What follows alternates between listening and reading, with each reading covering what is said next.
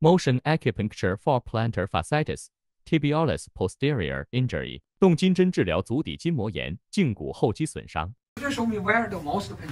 Right. In here. In here. Yeah. There. Okay.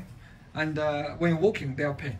If no walking, no pain. Uh, well, right now it feels okay. If I put on shoes, then, mm-hmm. I feel pain, pain right, there. There. How long this way? This you have? How long the pain you have from In a beginning? few weeks. couple Or few weeks. Yeah. Uh, any injury you have? No. No. Okay. I think you you are get better today. Okay. That's good.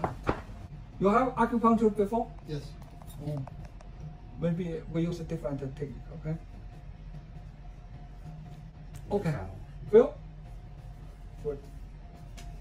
How about here? Still pain? No A little bit, little bit. Little bit. Okay.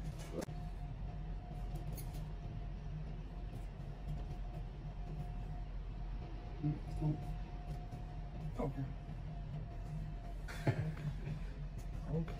Good. Okay. Okay. Do again. Needles no pain, right? That's okay. Okay. How about here? Before you were the pain here, right? Yeah, that, that feels okay. That's no pain. No. Oh, good. Very good. Right. One, two, okay, three, four, five, six, seven, eight. After this, one, two, repeat by yourself. Three, four, five, six, seven, eight. Another side. One, two, three, four. Okay. Come to the floor. Okay, come on. Come on. Go go other side. Yeah. How how you feeling?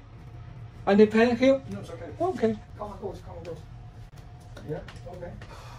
Before you do something, you feel pain or no? On the heel, no. No, here no pain, right? No. Feel better, right? Yeah. A lot better, right? Yeah. So before you're walking like that, uh, you feel pain, right? Um, then, then it gets more painful. No, it's fine, right? Oh, this is yeah. This You is feel relaxed, right? this is fine. Good. Okay.